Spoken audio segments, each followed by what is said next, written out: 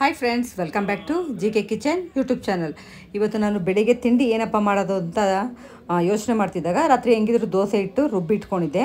ನಾನು ಜಾಸ್ತಿ ಏನಪ್ಪ ಅಂತಂದರೆ ಯಾವಾಗೂ ನಾರ್ಮಲಾಗಿ ನಾನು ಚಟ್ನಿನೇ ಮಾಡೋಕ್ಕೆ ಹೋಗೋದು. ಯಾಕಂದರೆ ನಂಗೆ ಬೆಳಿಗ್ಗೆ ಹೊತ್ತು ಈ ಗೊಜ್ಜು ಪಲ್ಯ ಎಲ್ಲ ಮಾಡೋದಕ್ಕಾಗಲ್ಲ, ಅಪರೂಪಕ್ಕೆ ಒಂದು ಸತಿ ಮಾಡ್ಕೊಳ್ತೀನಿ.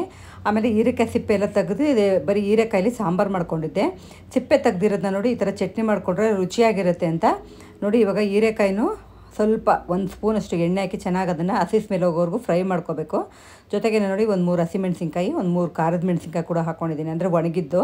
ಬೇಕಿದ್ರೆ ನೀವು ಅದರಲ್ಲಿ ಯಾವ್ದಾರ ಒಂದು ಕೂಡ ಹಾಕ್ಕೊಂಡು ಮಾಡ್ಕೋಬೋದು. ಚೆನ್ನಾಗಿ ಬರುತ್ತೆ. ಆಮೇಲೆ ಇನ್ನೊಂದು ಸೈಡ್ನ ನೋಡಿ ತೆಂಗಿನಕಾಯಿ ಎಲ್ಲ ತುರ್ಕೊಂಡಿದ್ದೀನಿ. ತುರ್ಕೊಂಡ್ಮೇಲೆ ಅದನ್ನು ಮಿಕ್ಸಿ ಜಾರ್ ಒಳಗೆ ನೀಟಾಗಿ ಹಾಕ್ಕೊಳ್ತಾ ಇದ್ದೀನಿ. ಸ್ವಲ್ಪ ಕಟ್ ಮಾಡಿ ಕೂಡ ಹಾಕೋಬೋದು. ಅಂದರೆ ಸ್ವಲ್ಪ ರುಬ್ಬಿದ ಮೇಲೆ ಏನಾಗುತ್ತೆ ಅಂತಂದರೆ ಕಾಯಿ ಕಾಯಿ ಹಂಗಂಗೆ ಸಿಗುತ್ತೆ. ಅದರಿಂದ ಏನು ಮಾಡಿದ್ರೆ ಈ ಥರ ತುರ್ಕೊಂಬಿಟ್ರೆ ಚೆನ್ನಾಗಿ ರುಬ್ಬಬೋದು, ಚೆನ್ನಾಗಿ ರುಬ್ಬುತ್ತೆ.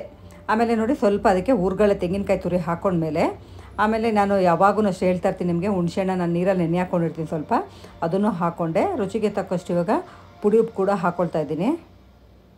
ಆಮೇಲೆ ಫ್ರೈ ಮಾಡಿರ್ತೀವಿ ಅಲ್ವಾ, ಹೀರೆಕಾಯಿ ಸಿಪ್ಪೆ, ಒಣಗಿದ ಮೆಣಸಿನ್ಕಾಯಿ ಹಸಿಮೆಣ್ಸಿನ್ಕಾಯಿ ಅದನ್ನು ಹಾಕ್ಕೊಂಡು ಒಂದು ಅರ್ಧ ಗ್ಲಾಸ್ ಇಲ್ಲ ಒಂದು ಗ್ಲಾಸ್ ಅಷ್ಟು ನೀರು ಹಾಕಿ ರುಬ್ಕೊಂಬಿಡ್ಬೇಕು. ನೋಡಿ ನೀರು ಹಾಕ್ಕೊಳ್ತಾ ಇದ್ದೀನಿ, ನೀರು ಹಾಕಿ ರುಬ್ಕೊಳ್ಳೋಣ ಇವಾಗ.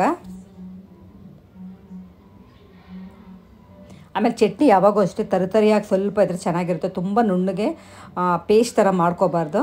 ಆಮೇಲೆ ನೋಡಿ, ರುಬ್ಬಿದ ತಕ್ಷಣ ಈಗ ನಮ್ಮ ಮಾವ ಅವರು ಶುಗರ್ ಪೇಷಂಟ್ ಅಲ್ವಾ, ಮಾತ್ರೆ ನುಂಗ್ಬಿಟ್ಟಿರ್ತಾರೆ.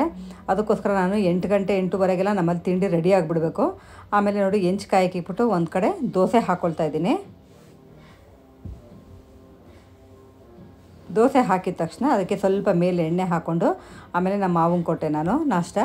ಆಮೇಲೆ ಜೊತೆಗೆ ಕೂಡ ಇವಾಗ ಅವ್ರು ತಿಂತಾ ಇದ್ದಂಗೆ ಹಂಚು ಕಾಯ್ತಾ ಇರ್ತಲ್ವ ಅವ್ರು ಒಂದು ತಿನ್ನೋದು ಲೇಟ್ ಆಗುತ್ತೆ ಅಂದ್ಬಿಟ್ಟು ಪಕ್ಕದಲ್ಲೇ ನಮ್ಮ ಅತ್ತೆ ಕೂಡ ಹಾಗೆ ಹಾಕ್ಕೊಟ್ಬಿಟ್ಟೆ ನಾನು. ಆಮೇಲೆ ನಮ್ಮ ಯಜಮಾನರು ಸ್ನಾನ ಮಾಡಿ ಮಕ್ಕಳು ಸ್ನಾನ ಮಾಡಿ ಬರೋಷ್ಟೊತ್ತಿಗೆ ಎಲ್ರಿಗೂ ಹಾಕಿ ಹಾಕಿ ಹಾಗೆ ಕೊಡೋಕ್ಕೆ ನಂಗೆ ಈಸಿ ಆಗುತ್ತೆ ಅಂತ ನೋಡಿ.